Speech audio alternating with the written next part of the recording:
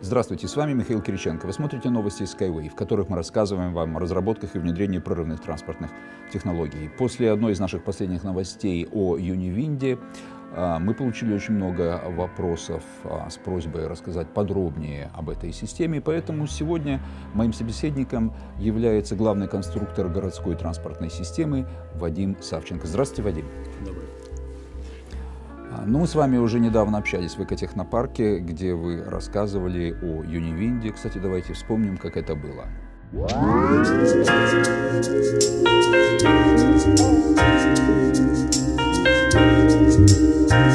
ну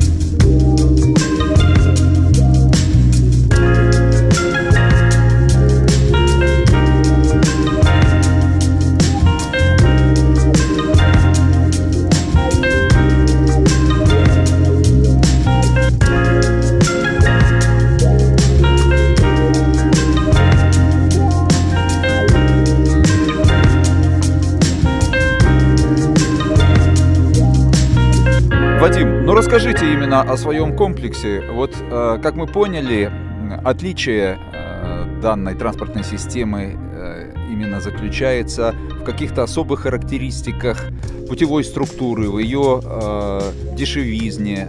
Если можно, остановитесь на этом.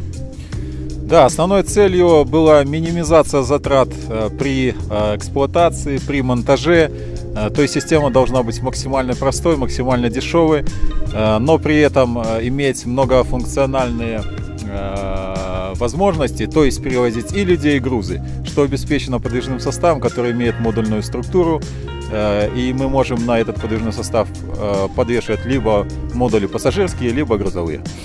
Но мы приехали в такой холод не случайно. Сегодня очень сильный ветер, и тем не менее мы видим, что Юнивинд справляется с этим ветром э, чудесно и движется на хорошей скорости. Удивительно, потому что самое начало даже не испытаний, а пусконаладочных э, работ, ну, продолжение пусконаладочных работ. Э, расскажите, э, как удалось достичь подобных, я бы даже сказал, чудесных результатов? Удивительных, по крайней мере. Э, Ну, традиционно уже визитная карточка наших транспортных средств, что они имеют хорошую аэродинамику. Это э, Анатолий Эдуардович всегда уделяет этому много времени при, э, на технических советах. Вот. э, Поэтому ветер, он, конечно, воздействует на транспортное средство, но за счет хорошей обтекаемости это воздействие не э, сильное. Если мы говорим о таких, э, ну там, э, транспортных системах, которые используются в горнолыжных комплексах на, проще говоря, фуникулерах, да, то там кабинки, которые обычно не имеют такой аэродинамичной формы, имеют гораздо более сильные колебания. Вот. И если вот ну, будет проезжать Юнивид, мы увидим, достаточно стабильно он себя ведет.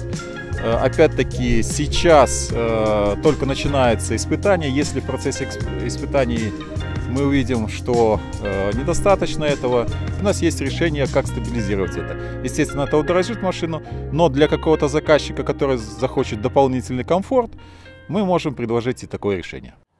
Теперь хотелось бы узнать от вас подробнее о том, что как бы дает большую экономическую выгоду от э, данной системы, а именно о путевой структуре. Если можно, с этого места поподробнее. Ну, на самом деле, кроме путевой структуры, э, комплекс состоит из многих элементов, но э, основную стоимость все-таки у нас это путевая структура составляет. Поэтому, конечно, старались минимизировать э, и размеры, и стоимость, материалоемкость. Соответственно, в ходе конструкторских разработок пришли к той конструкции, которую можно наблюдать в экотехнопарке. А, Что еще, какой, скажем так, положительный эффект, что минимальная трудоемкость при монтаже. То есть достаточно возвести на опоры, э, прокинуть колтюбинговую трубу, потом ее поднять и натянуть. А в этом случае ну, монтаж предельно простой.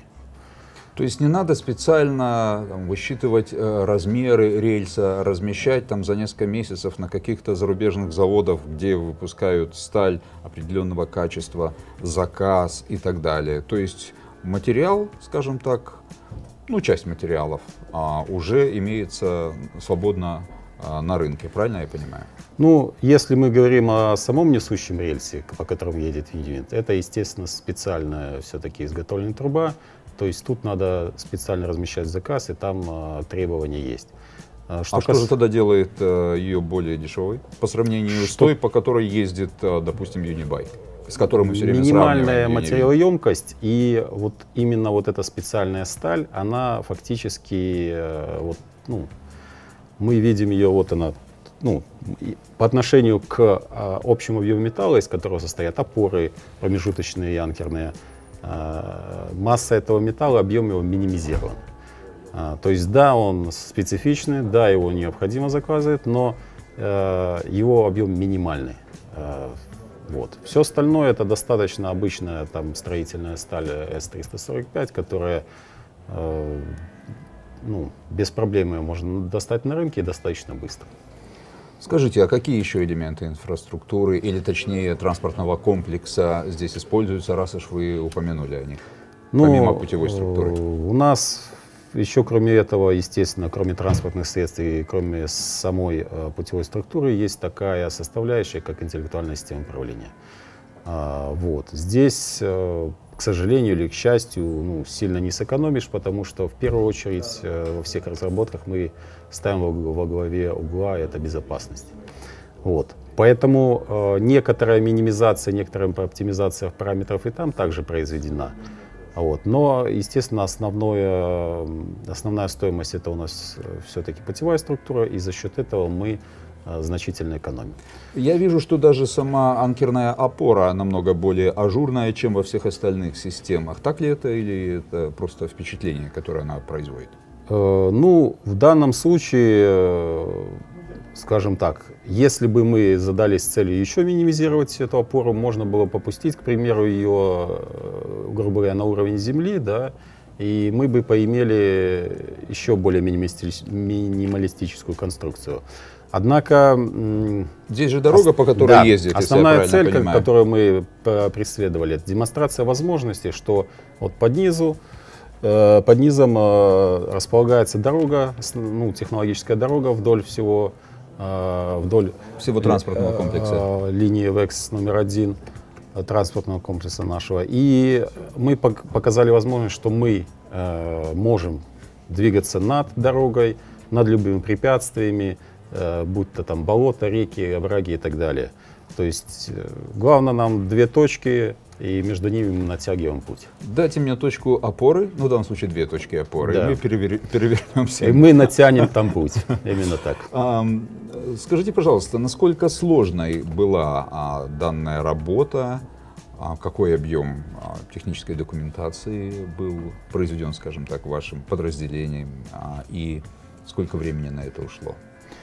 По времени могу однозначно сказать, что первое пожелание Анатолия Удардовича и концепция была в январе месяце 2018 -го. В феврале э, месяце было разработано на основании этой концепции значит, техническое задание для всех подразделений, включая проектировщиков, э, значит, интеллектуальной системы управления, э, транспортное средство и путевую структуру. А, далее на основании этого технического задания э, была разработана проектная документация и э, документация на конструкторская документация на подвижный состав. Э, в результате к концу лета мы, скажем так, имели основные конструкции комплекса, смонтированные уже в технопарке. Плюс э, к этому транспортное средство, оно, э, собственно, было продемонстрировано 4 августа на, Екатер... на Экофесте. Вот. И э, начиная где-то с сентября месяца по декабрь у нас были, скажем так, конечные, окончательные работы по монтажу элементов интеллектуальной системы управления, по там, заливке трубы.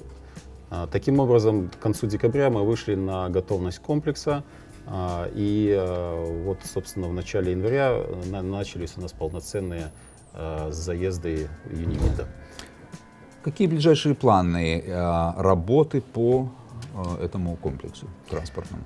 Ну, планы, естественно, то есть, во-первых, проверить, насколько наши теоретические выкладки и расчеты совпадают с практикой. А, если необходимо будет, то значит будем вносить коррективы. А, далее должны мы провести полный цикл испытаний Винивинда, а, приемочные испытания, с тем, чтобы быть готовым поставить машину на производство. Ну, естественно, мы должны будем по результатам испытаний доработать конструкторскую и проектную документацию, улучшив, изменив, с тем, чтобы ну, жизнь, она все-таки имеет, вносит свои коррективы, имеет некие нюансы, в том числе и зимняя эксплуатация, э, есть ряд особенностей. Поэтому все это должно быть проверено в ходе эксплуатации, в ходе э, испытаний. И, собственно, э, должны мы получить возможность масштабировать этот комплекс э, на те аван-проекты, которые, ну, если приходит заказчик с деньгами, мы должны быть готовым в любое время э, эти комплексы возводить. Спасибо большое. Не смею более вас задерживать. Возвращайтесь, пожалуйста, к своему такому важному для нас труду. Благодарю. Спасибо. Подписывайтесь на наш канал YouTube, следите за обновлениями новостей на нашем официальном сайте, поддерживайте наш проект, и тогда все ваши дела будут делаться качественно, а очень вовремя, и они будут всегда для всех очень нужными. Строй Skyway. Спасай, Спасай планету. планету.